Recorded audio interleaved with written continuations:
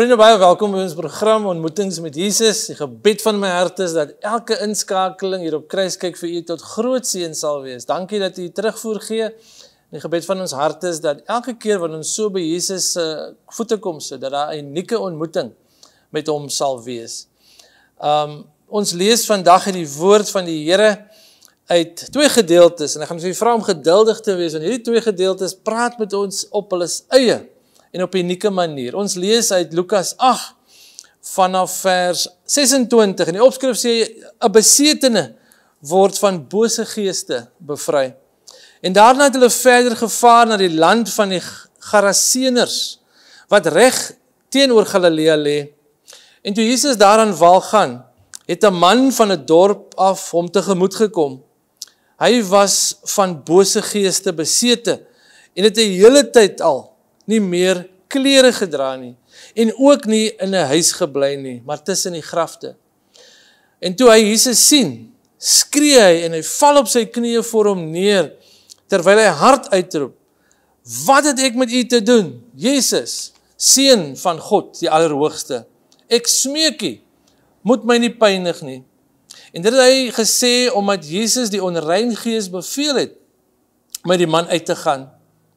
Dit was 'n bose gees wat hom al baie keer beetgepak het. Al het hulle hom met hand en voetboeie vasgemaak om hom tot bedwang te bring en te bedrang te hou, het hy die boeie uitmekaar geruk en is hy deur die bose gees die woestyn ingejaag. En toe vra Jesus vir hom: "Wat is jou naam?" "Legio," antwoord hy, want daar het baie bose geeste in hom ingevaar. En hulle het Jesus gesmeek om hulle nie na die onderaardse dieptes toe terug te stuur nie. En daar het 'n hele trop varke teen die berg geloop. En die bose geeste het Jesus gesmeek om hulle toe te laat om in die varke in te vaar. En hy het hulle toegelaat. En die bose geeste het uit die man uitgegaan en in die varke ingevaar. En die trop sit toe op loop teen die hang af die see in. En die Bybel sê en hulle het versuip. En toe die wagters sien wat gebeur het, hardloop hulle weg en gaan vertel dit in die dorp en op die plase.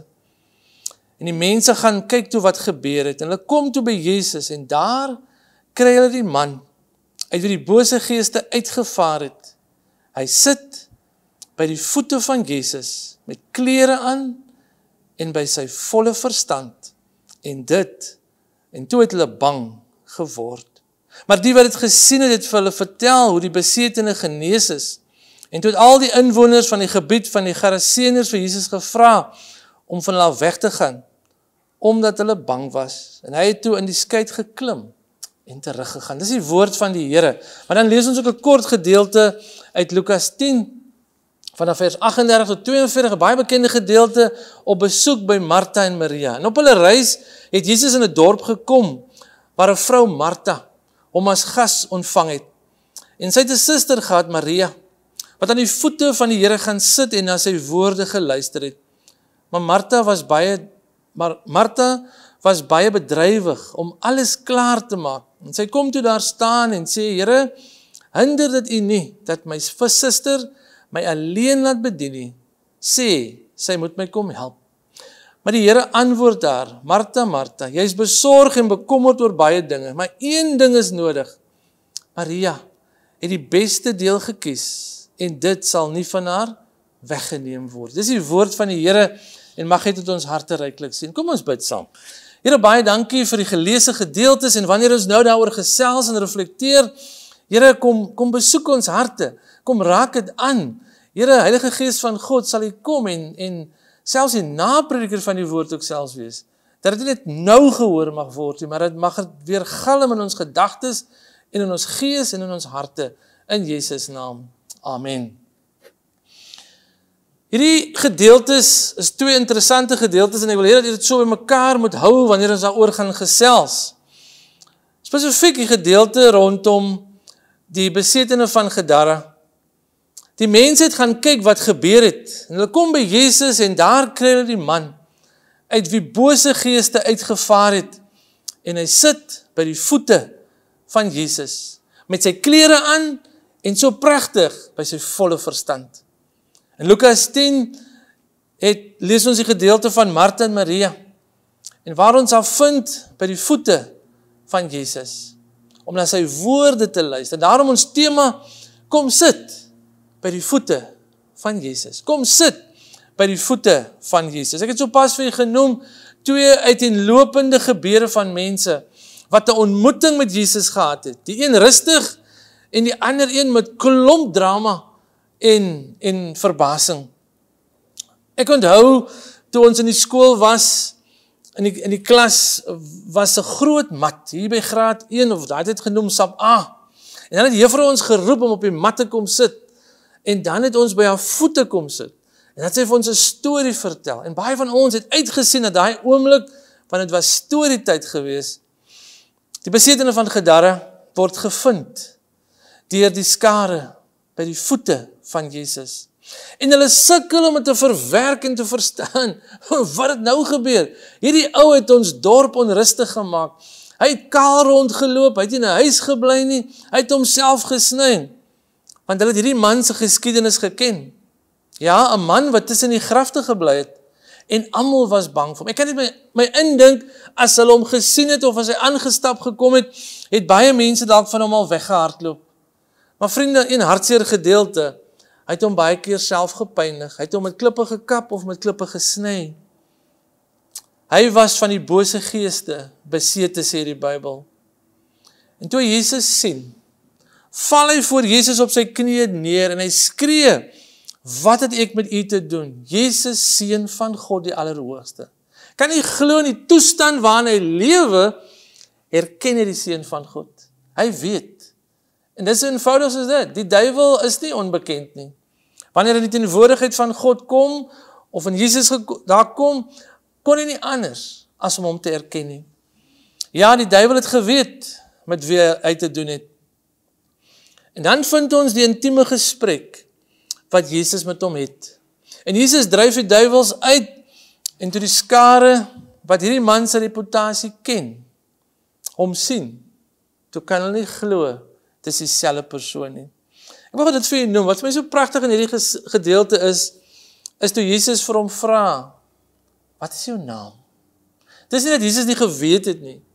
Maar Jesus is altyd op daai vlak om kontak te maak. En so pragtig en ek hy vir my so baie krag net om te vra: "Wat is jou naam?" Ja, talle. En hy antwoord: "My naam is Legio." Want daar was baie van hulle. Ja, talle ander het al probeer As ons lees in vers 29 met hand en voetboeie hom vasgemaak, maar niks het gehelp nie. Totdat hy 'n ontmoeting het met Jesus. En hy sit nadat die seun van God vir hom 'n werklikheid geword het, gekleed by sy volle verstand. My liewe vriend, niemand kon hom verlos nie vir dit waarmee hy jare geworstel het nie. Maar die seun van God kom en transformeer verlos hom van alle boosheid en bring hom tot sy sinne. Laat my toe kortliks om hieroor te reflekteer. Hoeveel legio's is daar nie in ons families en in ons samelewings, in ons gemeenskappe wat die woongebiede op hol maak wat familie en gesinslede tuister. Niemand kan hulle beheer en tot bedaring bring nie. Hulle was al hospitaal in en hospitaal uit Hulle het al hierdie dokter en daai persoon gaan sien. Hulle kap en hulle sny hulle dalk nie met klippe nie. Fisies nie. Maar hulle lewe tussen die grafte van die lewe. Hulle lewens word beheer deur boosheid. En wanneer ons baie keer na hulle kyk en hulle sien, dan besef ons dit is iemand se kind. Dis iemand se seun, dis iemand se dogter, dis iemand se pa. Nou wonder jy, wat het in daai persoon se lewe verkeerd gegaan. Selfs diegene wat probeer het om hulle te help, het al moed opgegee. Want daar is geen keer aan hulle vernietigende gees nie. Hulle is dalk al lankal afgeskryf deur almal rondom hulle en sê nee, los maar vir hulle. Daar's meer geen salf van hulle te smeer nie. Ek gesels eendag met 'n jong dame wie se lewe vasgevang is in dwelms. Haar ouers het my gevra om met haar gesprek te hê. En ek kon sien as sy na haar gesig en na apostuur kyk. Hoe hoe die dwelms en die gebruik en die misbruik daarvan haar lewe en haar gelaat afgetakel het. En ek besef in daai oomblik al wat ek het om vir haar te bied is Jesus. So baie gene was al by 'n rehabilitasiesentrum met groot sukses. Maar sy wou nie gaan nie. En al wat ek in daai oomblik vir haar kon bied was Jesus. Maar weet jy, toe sy dit hoor, is asof iets in haar opstoot en sy stel nie belang nie. En vriende, so het 'n paar jaar verbygegaan. Maar ons bly bidde dat die Here sal beet kry.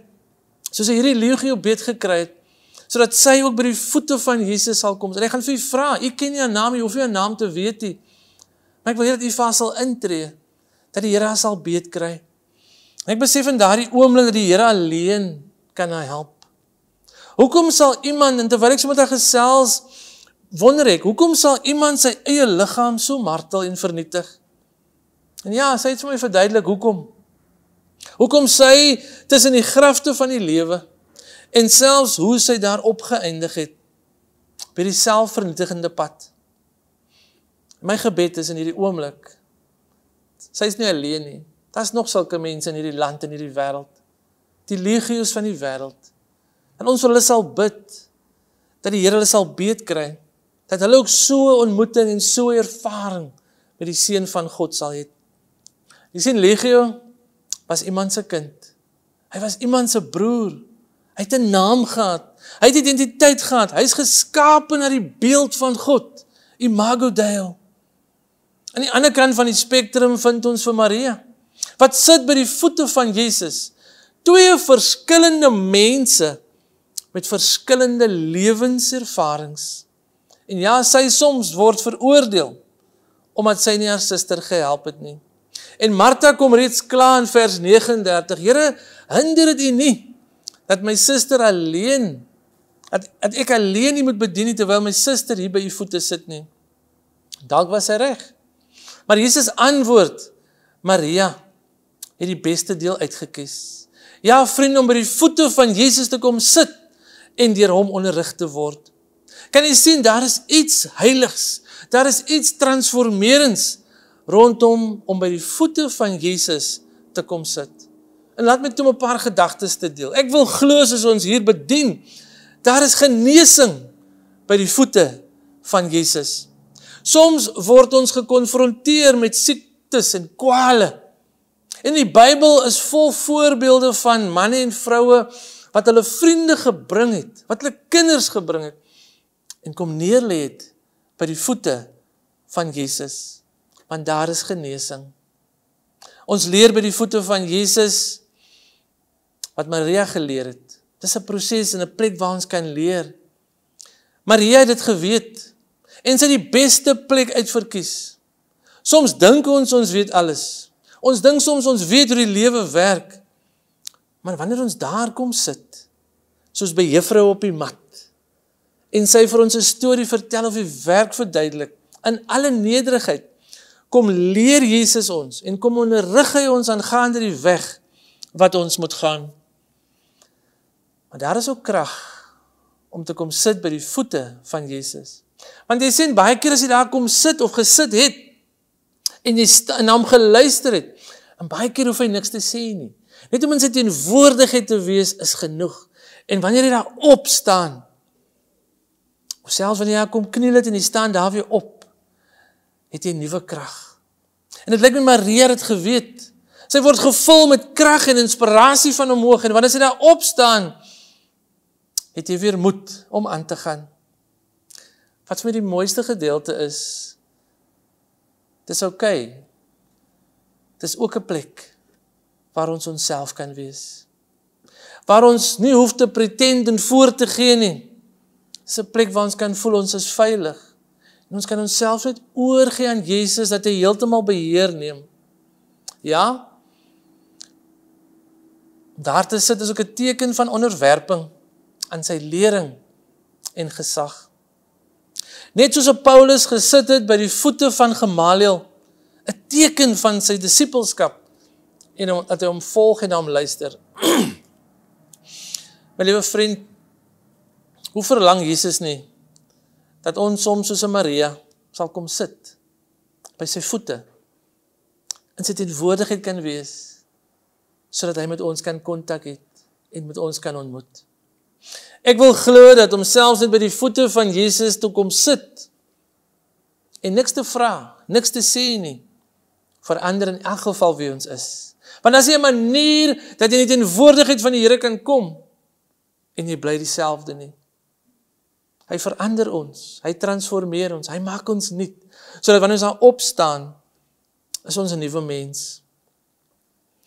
Wanneer Legio die besetene van Gadara by Jesus se voete sit, is hy nie gekleed nie, maar hy is by sy volle verstand. Maar sy identiteit is herstel. By wie se voete jy sit, sê ek baie keer aan wie jy behoort. Niemand kon hom help nie. Niemand kon hom beheer nie. Net Jesus. Ek wil glo dat as daar nou so 'n sielkundige en 'n psigiater opgedaag het en hulle moes vir hom verduidelik het of as hulle selfs die geskiedenis geken het is dit enige sielkundige of psigiater of familie se droom dat iemand wat besete is, iemand wat van sy kop af is, iemand wat die lewe moeilik en die mekaar gemaak het. Wat daar gebeur het, wil ek glo in hierdie oomblik kan nie eers wetenskaplik verduidelik word nie. Hy het hierdie pille of daardie pille of hierdie psigoterapie gekry en nou sit hy gekleed en by sy volle verstand. Die seun van God alleen kan sulke wonders doen.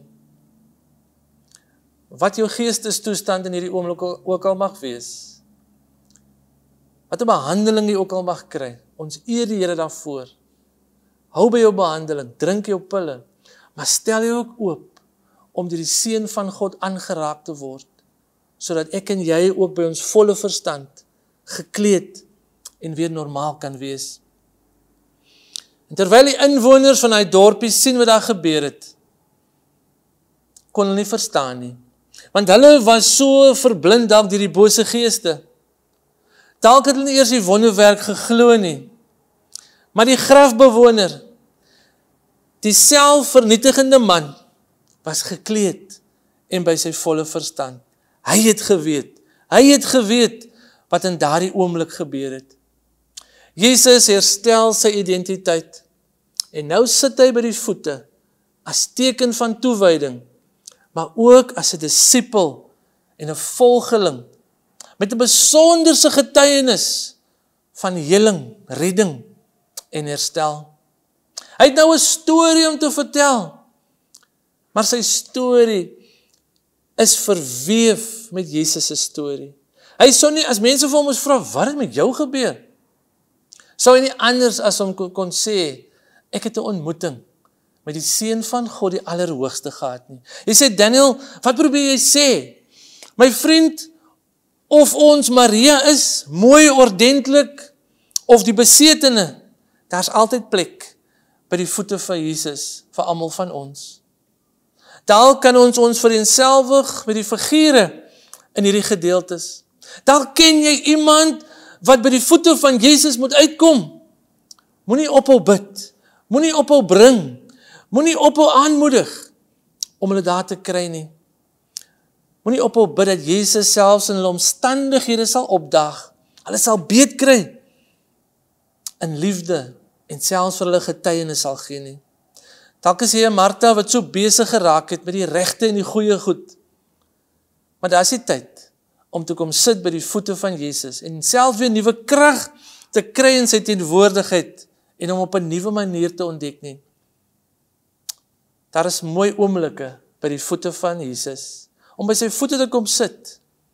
En selfs soos die lied sê, dalk is jy gebroken. Dalk weet jy nie wat in jou lewe aangaan nie. Sê die lied Ons kom lê jou by Jesus se voete neer. Vriende, dis hierdie voete vir wie Thomas toe hy die spykermerke sien, moes verklaar: My Here en my God. Dis dieselfde voete wat die vrou met die albaster fles daai voete wat haar trane mee kom was het en kom salf het. Dis daardie selfde voete wat die Via Dolorosa gestap het. Ons is so by Paasfees. Maar is daar dieselfde voete wat bereid was, voete van bereidwilligheid om vir my en vir jou die pad van lyding te stap sodat ons by 'n beter plek kan uitkom. Wil jy nie vandag, van hierdie oomblik, wat jou stand ook al mag wees, wat jou posisie ook al mag wees, hoe lank jy ook al by die Here mag aankom, wil jy in hierdie oomblik net so by sy voete kom kniel. Laat jy net so aanraak sodat ons net weer by ons volle verstand kan kom. Sodat ons hom opnuut weer kan ervaar soos nog nooit vantevore in Jesus naam. Amen. Kom ons bid saam. Here baie dankie vir u woord. Dankie dat u woord skerper is as 'n tweesnydende swaard. Ek bid nou vir die legio's in ons families, die legio's in ons samelewings, die legio's wat ons samelewings de mekaar maak. Ons bid ook vir hulle wat so besig geraak het dat hulle nie meer by die voete van Jesus kan kom sit nie. En Here, ons bid vir herstel, ons bid vir genesing. Ons bid dat U die mag wat die vyand het oor mense, spesifiek jong mense se lewens, sal kom breek sodat hulle weer opnuut by hulle volle verstand kan wees. By u voete kan kom sit. Maar nie daar kan sit nie, Here, maar kan opstaan met 'n getuienis en kan gaan vertel wat Jesus vir hulle gedoen het. Here, dankie vir die uitnodiging dat ons by u voete kan kom sit. Ons loof U, ons prys U en ons sê vir U dankie. Amen. Vriende, pragtige week en in maand vir u vorentoe en mag die Here vir u ryklik seën deur die bediening van sy woord. Totsiens.